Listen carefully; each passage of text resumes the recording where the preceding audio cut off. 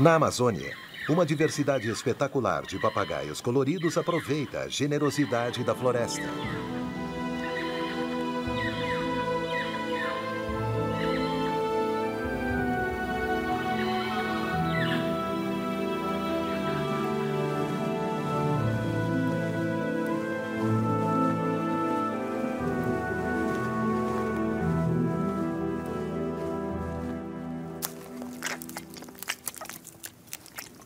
O pé em comum, com dois dedos para frente e dois para trás, é ideal para segurar o alimento enquanto o bico poderoso e a língua hábil trabalham.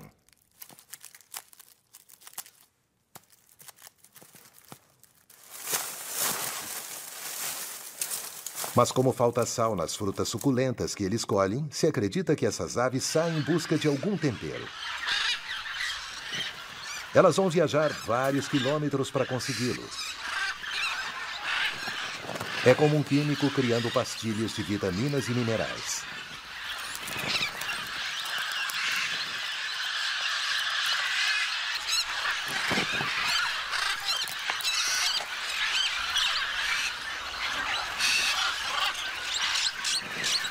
As línguas hábeis e os bicos poderosos trabalham um pouco no banco de lama.